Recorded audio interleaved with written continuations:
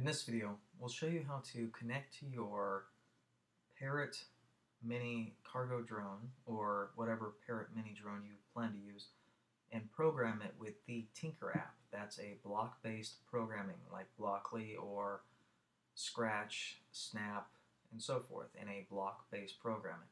So I've already gone ahead and I've downloaded the Tynker app. So we click on the Tynker app and wait for it to load up. Again, this is available for both iOS and Android. Close that out. Click on Projects down in the bottom left. I'm going to delete this current project I do not need. And then I'm going to click on Create New Project. So we're assuming that we've never created a project in here, even though you can see I personally have created projects. We're going to click on Blank Template up here in the top left. And then we're going to get rid of our little actor here because we actually don't need him. We want a drone. So we're going to click on the trash bin and then confirm that we want to get rid of him. Next we want to come up to the top right here and click on the plus sign. And then we want to select Connect Device. That's the drone here in the top right. Then we want to select the correct drone we want to use. The first one is the Mambo followed by the cargo mini drone, followed by the night. Um, I don't know what that is. It's the night drone with the lights on it, and then the rolling spider. We want the cargo mini drone for my example, but depending on which drone you have, select the connect or correct drone. They'll all work the same the way we're practicing the functions of the programming. Next, what we want to do is we want to make sure the drone is connected. So make sure that your Bluetooth is on. That's the bee right here. Or it looks like a bee with two little wings coming out the back of it next to the Wi-Fi. So I have Bluetooth on. I make sure I tap on my drone to select it and it shows us the code, the joystick, and the option to throw it away. Click on the joystick so we can confirm that it's um, been tethered to the Bluetooth. And as we can see, my Mars rover, or my sorry, my Mars drone has been tethered to the Bluetooth for this iPad.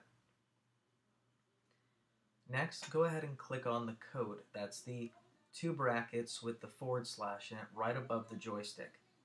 So we click on that we see it says when actor touched. We don't want when actor touch. We want on start.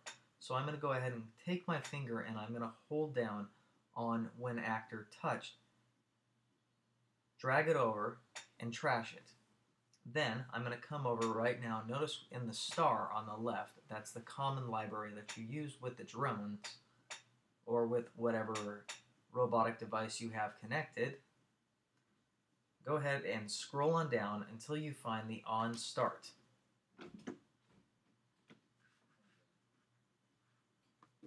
With the on start selected, go ahead, scroll on back up. And for this first example, all we're going to do is we're going to go ahead click and hold down on takeoff, drag it and snap it underneath on start.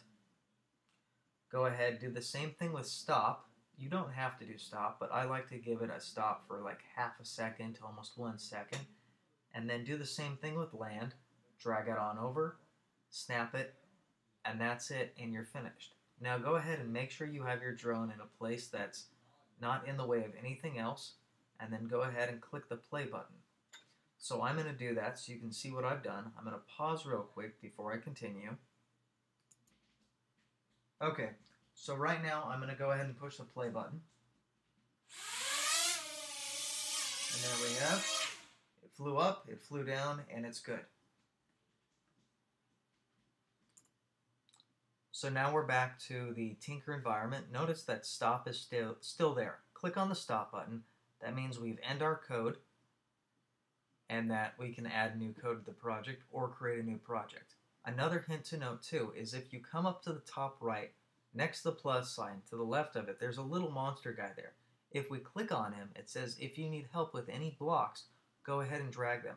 So let's go ahead and do that right now. Let's click and drag on the emergency block and drag it over our little monster guy. And it tells us that the emergency cuts off power to the parrot drone. And if we scroll, it says, when I receive emergency, run the emergency. Let's do one more button. So let's say is connected, drag it on over. Connected returns true if connected to parrot drone, otherwise return false.